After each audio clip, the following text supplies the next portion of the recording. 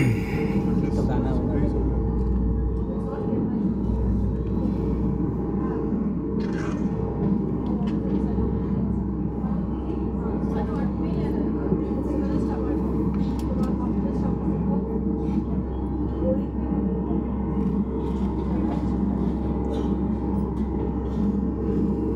starting में थोड़ा बैठने के बाद बोरिंग लगा जब